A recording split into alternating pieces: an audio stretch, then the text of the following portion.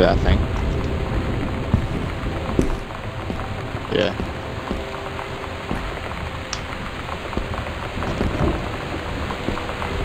Mm, Okay.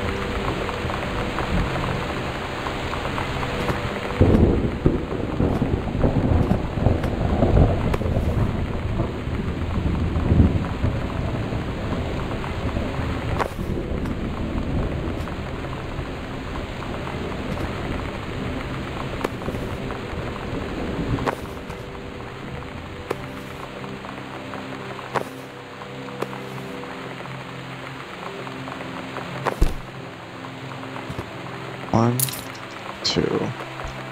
The sunset light in this house is the saddest thing I've ever seen. I just want to sleep. When I'm in the attic, it almost feels like Lonnie could still be here. She's just downstairs. I'm just waiting to hear her pull down the hatch and come running up. Maybe I'll go up to the attic and wait.